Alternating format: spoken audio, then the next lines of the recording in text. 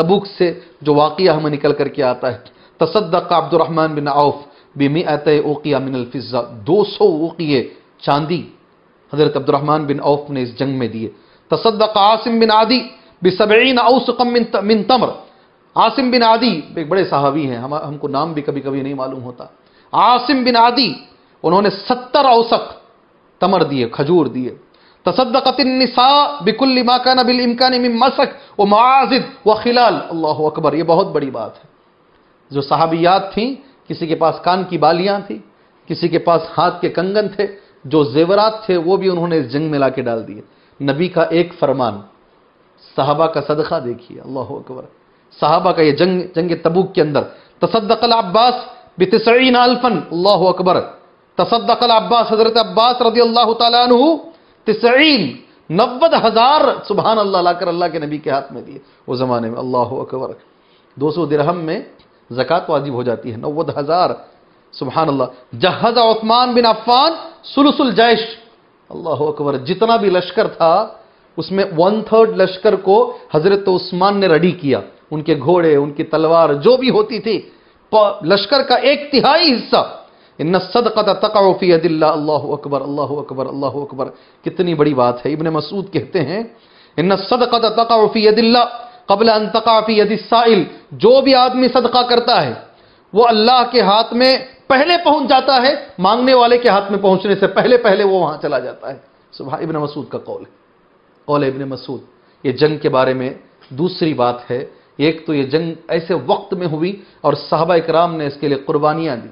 अल्लाह के रसूल वसल्लम के साथ साहबा निकल पड़े, जंग के लिए चले गए।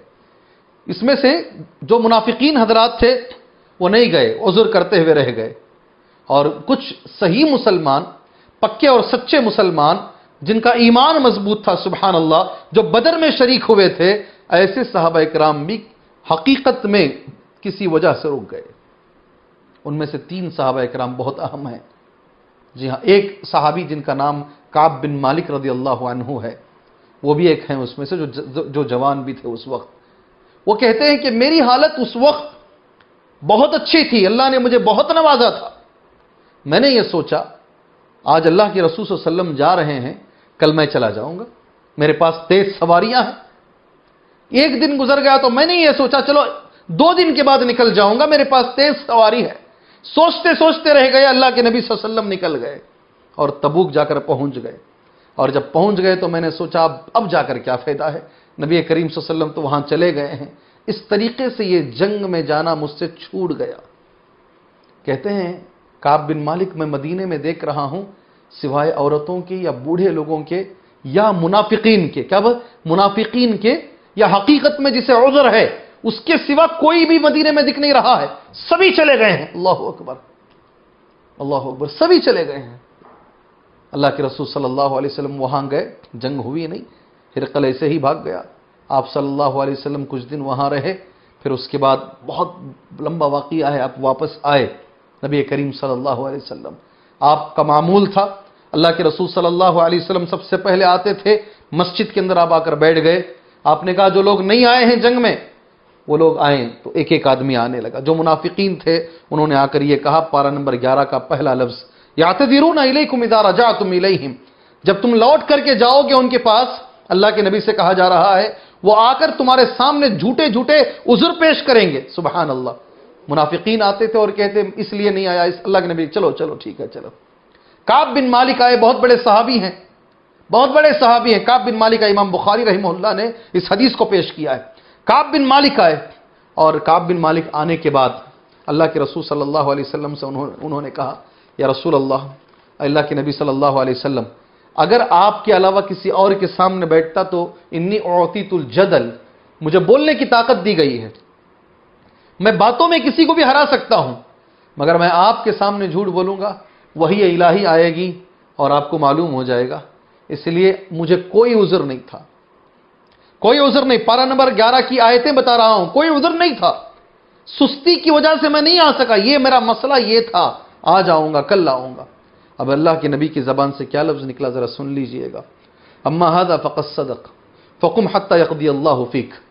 अम्मा हादा फ़कत सदक, फ़कुम हत्ता यकदी अल्लाह फ़ी ये एक आदमी, इतने आदमियों में ये एक आदमी है जिसने सच कहा है। उठो, चलो। यहाँ तक कि अल्लाह तबारक ताला तुम्हारा फैसला कर दे। नबी करीम वसल्लम ने तमाम साहबा से कह दिया, कोई इनसे बात नहीं करेंगे।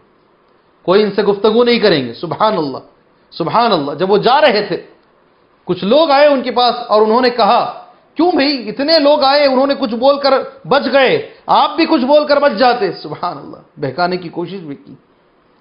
बहकाने की। तो काब बिन मालिक ने पूछा, क्या मेरे अलावा कुछ और भी साहबा हैं इसमें, जिनके साथ ये मामला पेश आया है, जो मेरे साथ पेश आया है? फजकरूली रजुलैन सालिहीन, कद शहीदा बदर।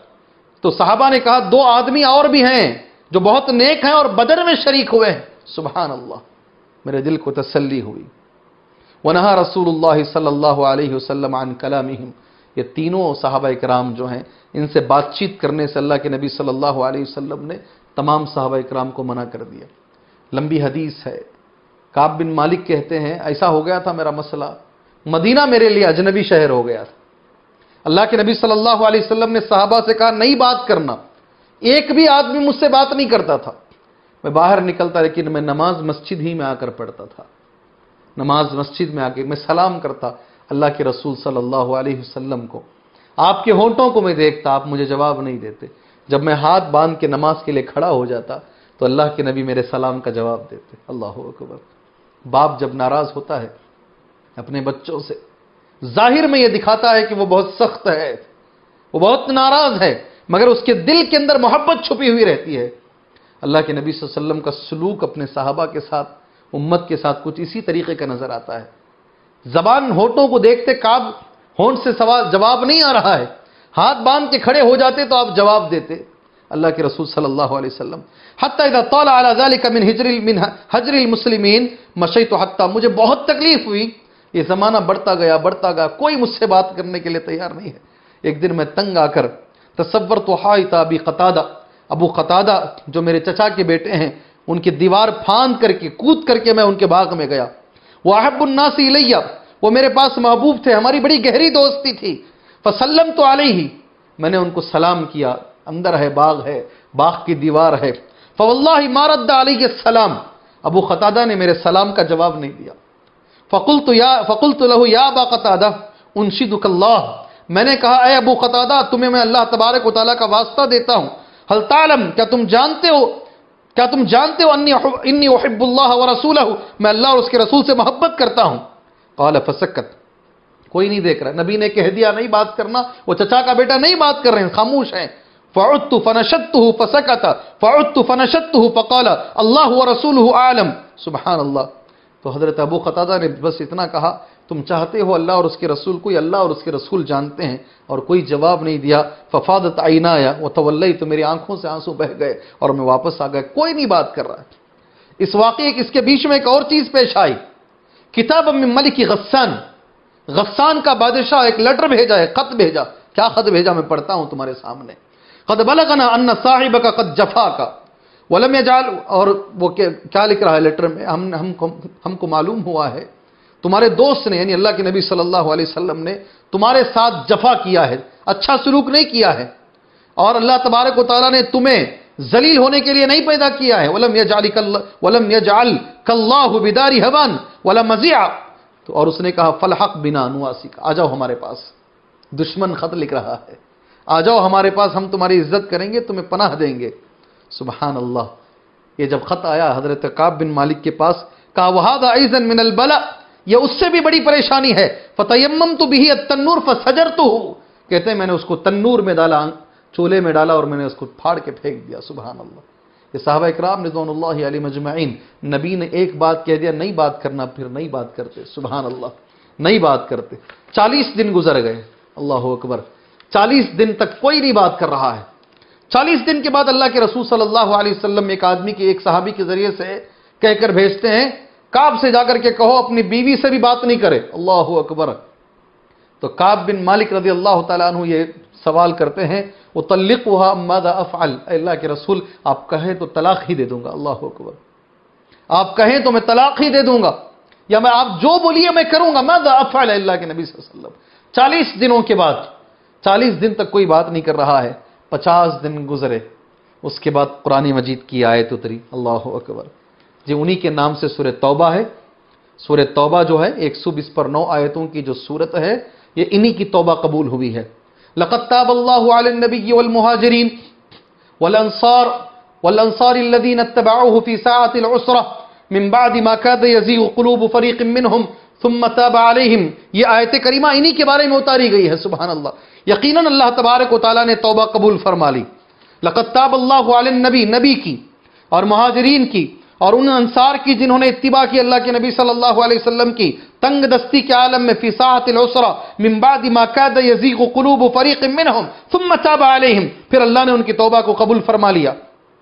इन्ना बिहिम रऊफ़ रहीम। बेशक अल्लाह तबारक वाली बड़ा मेहरबान नहायत रहम करने वाला है। वालसलासतिल्लदीन खुल्लिफू।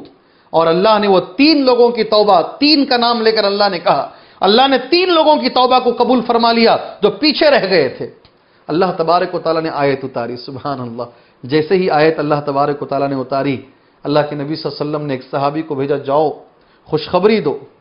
काब को खुशखबरी दो। साहबी आए, काब कहते, मैं उदास, एक चटान पर बैठा हुआ था।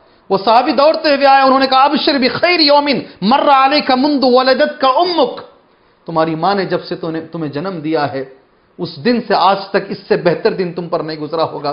तुम्हारा नाम कुरान में आ गया है। अल्लाह अकबर। तुम्हारी तौबा को अल्लाह ने कुरानी मजीद में पेश कर दिया है।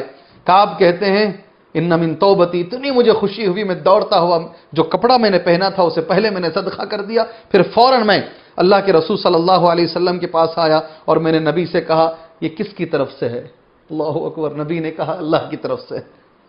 अल्लाह की तरफ़ से है। इन मिन तौबती अन अखला माली सदकतन व इला रसूल ही मैंने नबी से कहा, मेरी तौबा जो अल्लाह ने कबूल फरमा ली है, मैं मेरा सारा माल अल्लाह के रास्ते में दे देता हूँ। नबी ने मुझे जवाब दिया, अमसिक अली कबाद मालिक तो वखैर थोड़ा माल अपने पास रखो, ये तुम्हारे लिए बेहतर है।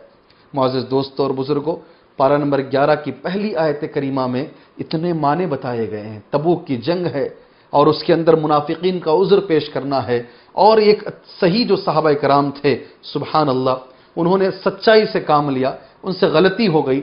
अल्लाह के रसूल सल्लल्लाहु अलैहि वसल्लम ने उन्हें सज़ा दी और अल्लाह तबारक व ने वो सज़ा में खड़े उतरे।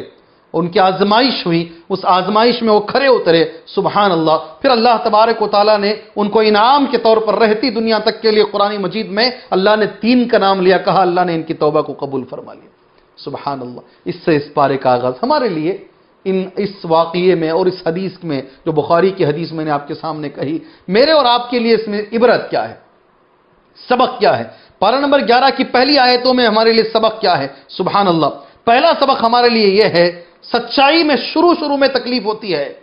लेकिन बाद में आदमी अगर सच्चाई पर कायम रहेगा, अल्लाह तबारक वाली उसे ज़रूर कामयाब करेगा सुबहान अल्लाह अल्लाह ज़रूर कामयाब करेगा। इनको बड़ी तकलीफ़ हुई। बड़ी तकलीफ़ हुई। रोए, कई बार रो, रोना शुरू कर दिया, आँखों से आँसू बह गए। मगर एक वक्त आया, अल्लाह तबारक ताला ने ऐसी कामयाबी दी कि कुरानी मजीद में अल्लाह ताला ने इनकी तौबा को उतार दिया। दूसरी बात, हमारे मज़हब के अंदर सुस्ती की सजा है। सुस्ती, इनसे गलती क्या हुई थी? सुस्ती हो गई। आज जाएँगे, कल जाएँगे। इसलिए मैं गुजारिश करता हूँ, अल्लाह मुझे सुस्ती से बचाए। अल्लाह आपको सुस्ती से बचाए। और अल्लाह के नबी वसल्लम की एक दुआ है अल्लाह आउज़ कसल। अल्लाह तबारक वाली मुझे आजिजी से और सुस्ती से बचाए। सुबहान अल्लाह और तीसरी और अहम बात जो इसमें मालूम होती है, वह है तौबा। अल्लाह अकबर।